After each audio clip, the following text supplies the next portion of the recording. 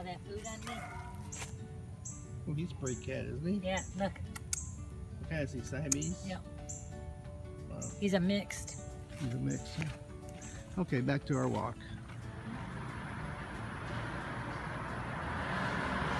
Let me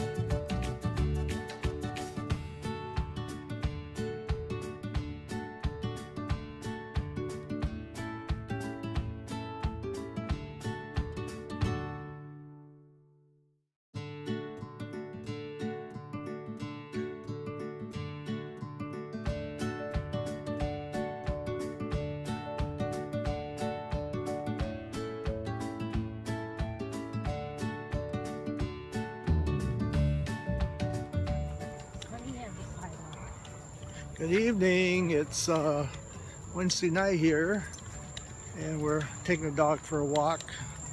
Trying to get the dog to walk. Yeah, we're trying to get this dog walking. He doesn't like to walk. He's got a mind of his own. He's got a mind of his own. We uh, we had a busy day today. We uh, the guy put up part of our fence. Looks really good. Tomorrow he's gonna put the rest of it up. And then a concrete guy came over finally to give us an estimate on our to replace our muddy driveway. So he started that today. I'll show you a video of that. They're digging it out. Tomorrow they're gonna put the the uh, forms in and pour the concrete. Everything's coming in the future. Everything's coming. So, All the videos. yeah, so it's a pretty busy day today.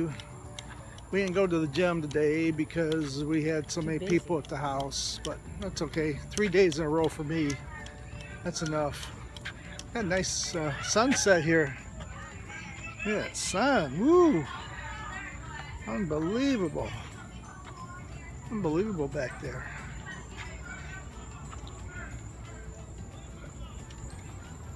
Lots of kids in the park tonight. It's beautiful weather right now. It's 85 degrees. You coming down here, honey? Yeah, I just Okay. on the sidewalk. Okay.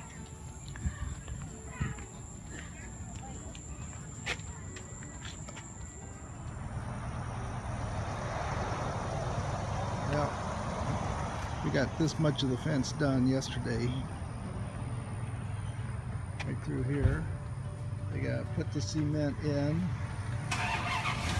And uh, in this part here, they're doing a they're doing the concrete work today.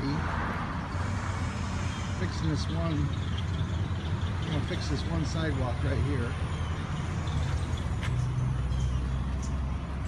Lots of work on this old house.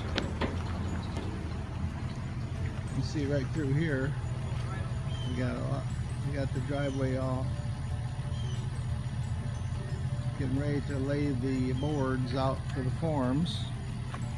Fence guys are coming pretty soon. So that's about it.